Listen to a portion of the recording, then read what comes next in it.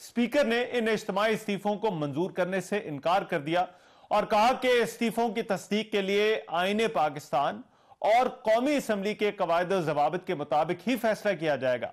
राजा परवेज अशरफ ने उसके बाद मीडिया से गुफ्तगु भी की और कहा कि बात तो अच्छे माहौल में हुई, लेकिन आइन में लिखा है कि इस्तीफा हाथ से लिखा हुआ हो और स्पीकर इसकी तस्दीक करे। स्पीकर साहब जो एक्टिंग स्पीकर थे, वो एक्सेप्ट करना ही गैर आयनी और गैर कानूनी था।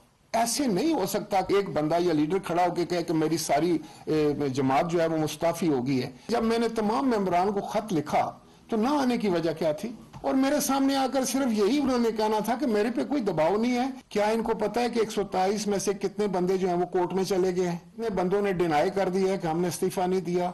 कितनों ने आकर हाजिरी लगा ली है?